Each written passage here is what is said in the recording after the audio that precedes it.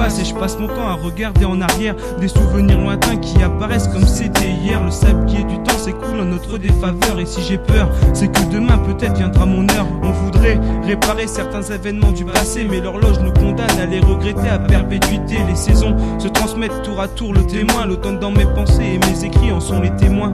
Cette vie, j'avoue, m'a offert de bons moments, trop peu sûrement, vu qu'à mon âge, je pense déjà à mon enterrement. Le temps me fait peur, règne en maître sur terre, oppressé par un compte à qui peu à peu arrive à terme.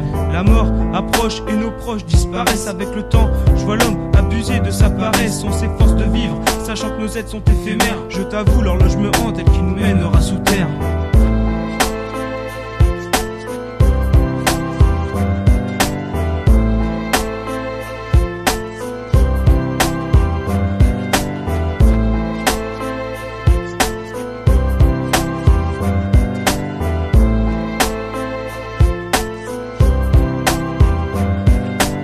Années passent et se transforment en autrefois. L'horloge du temps une fois de plus s'amuse et y trouve sa joie d'un murmure Nous hante à chaque seconde, influence ce monde. Ces jours si sombres où la tristesse abonde Et l'aiguille tourne sans forcément y prêter attention. Fait le tour deux fois par jour du cadran, la pire des malédictions. J'aurais aimé l'arrêter tellement de fois. Instant éphémère qu'est la vie pour notre grand désarroi. La mort a pactisé avec depuis le commencement. Dépendant de tous deux, comment vivre en les ignorant? Le temps nous laisse souvent des souvenirs de bonheur. Efface nos plaies et cicatrise nos douleurs. Jamais nous ne pourrons être épargnés De l'horloge du temps. Tant qu'elle sévira nous ne pourrons la nier. Et à minuit elle recommence son cycle incessant. Lorsqu'elle s'enrayera je crois bien que ce sera la fin des temps